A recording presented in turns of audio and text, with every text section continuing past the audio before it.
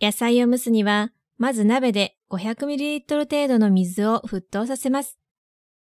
蒸し器か耐熱の水切りざるがあれば、そこに野菜を入れて蓋をします。数分間蒸気で野菜を蒸し、時々フォークで火の通り具合を確認しましょう。蒸し器も水切りざるもない場合は、鍋に野菜を入れてから水を3センチから5センチ程度加えます。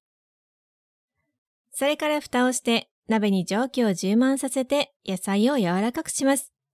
蒸し野菜を美味しく食べましょう。